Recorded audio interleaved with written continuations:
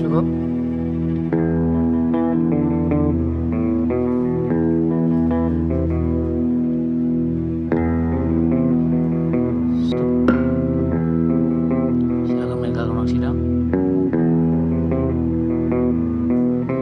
Baik, terhadap terdakwa Hendra, ya.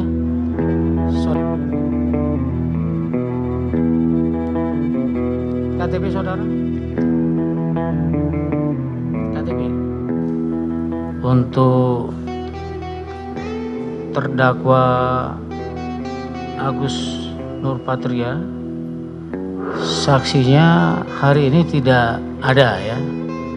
Sedianya kita akan dengarkan saksi mahkota. Tapi kalau untuk saksi mahkota biar nanti sekaligus. Ya. Sehingga dengan demikian untuk perkara Agus Nurpatria ya kita akan tunda terlebih dahulu. Begitu ya.